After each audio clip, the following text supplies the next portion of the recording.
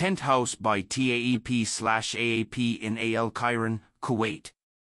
Inhabitants of the Arabian Peninsula have a long-standing tradition of leaving the cities on holidays often traveling to the seaside or to the desert to set up temporary infrastructures and spend quality time with their families. The tent residence conceptually recreates this idea of a family gathering under a lightweight and discreet shelter structure, symbolizing the importance of shade in the hot desert climate.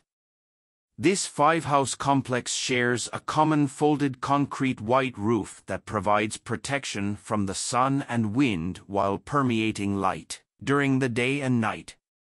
Strategically perforated, the roof filters sunlight into the interior spaces and offers views of the sky through rectangular cuts.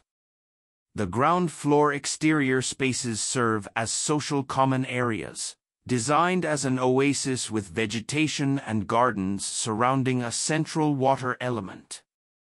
The outdoor gardens culminate in two communal double-height shaded spaces that connect the interior of the site to the beach and further accentuating the main facade and proving views for the two internal units to overlook the sea. The tent residence is designed to maintain privacy from the access road and immediate neighbors while maximizing openness and transparency to the private beach with seafront glazed facades and garden terraces.